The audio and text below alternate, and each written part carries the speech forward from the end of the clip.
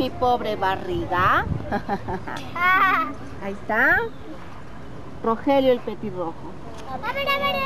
Una vez que terminó de cantar la copla, se acercó a ver si le habían puesto algunas migajas y picoteaba. Unas cuantas antes de desaparecer tras los árboles. Siéntate. Pero aquella mañana no había migas. Los audaces gorriones se los habían comido todas las miguitas. Ahorita va a salir una niña a leer acá adelante. ¿ah? Para no, Cassandra. nuestro petirrojo regresó, pero tampoco logró nada los a- bandidos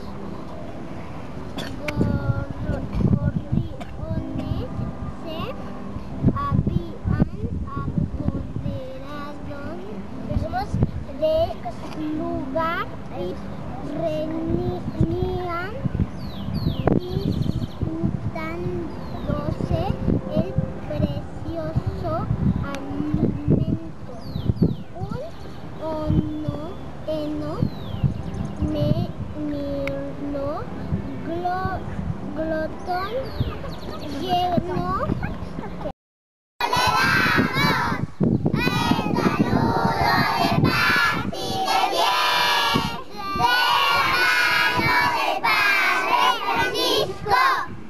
Construimos palabras de bien. De la mano de Padre Francisco. Construimos palabras de bien.